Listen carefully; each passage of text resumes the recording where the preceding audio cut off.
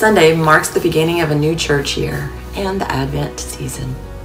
During this season, we wait with anticipation for the birth of Jesus Christ, our King, and we celebrate. The Advent wreath is a wonderful addition to our, our time of celebration. The circular design reminds us of continuous life, of life everlasting. And the four candles remind us of love, hope, joy, and peace. And then the color purple reminds us of Jesus' royalty.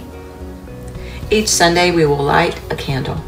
We start with the candle of hope, and then the second Sunday, we add the candle of love, and then the third Sunday, we add the candle of joy, which is sometimes pink.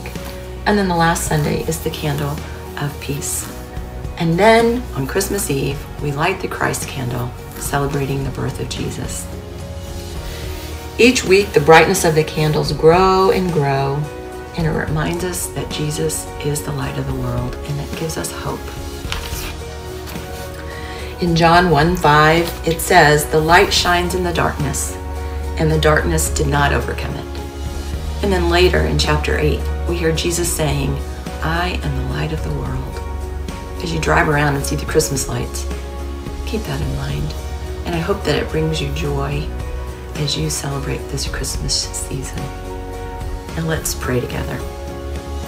God of light, grant us courage to testify to your light, and may your hope, peace, joy, and love fill all of the earth. Amen. Merry Christmas.